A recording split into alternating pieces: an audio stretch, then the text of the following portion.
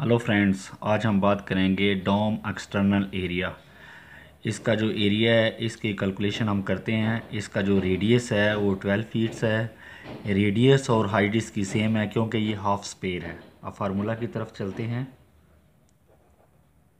Surface area का formula है two pi और square two multiply pi multiply और इसका रेडियस रेडियस है इसका ट्वेल्व फीट्स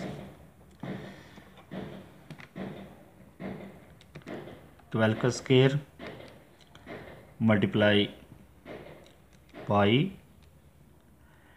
multiply two ये हमारे पास आ गया है nine hundred four point seventy eight S F T square feet ये हमारे पास आ गया है इसका एक्सटर्नल इसका एरिया अगर आपने इंटरनल एरिया निकालना हो तो इंटरनल का रेडियस आप ले लें।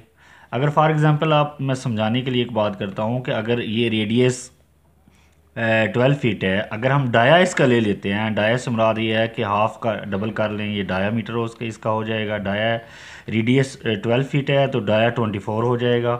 उसके लिए मैं अगर मैं निकालता हूँ डाई के हिसाब से तो उसका फार्मूला मेरे पास होगा सरफेस एरिए का। Pi D square divided by two. Pi radius इसका ट्वेल्व फीट था। इसको प्लस करेंगे तो इसका डाया हो जाएगा ट्वेंटी फोर फीट पे चला जाएगा। ट्वेंटी फोर का square divided by two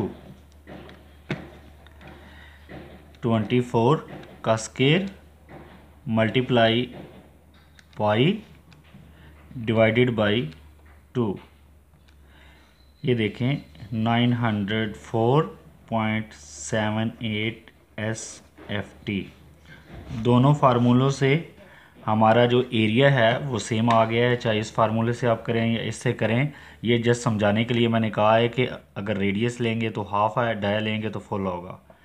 thanks friend मेरी वीडियो को देखते रहें। इंशाल्लाह नेक्स्ट टाइम इससे भी अच्छी आपके लिए वीडियो लाऊँगा। बेल आइकन को दबाएँ सब्सक्राइब करें। Thank you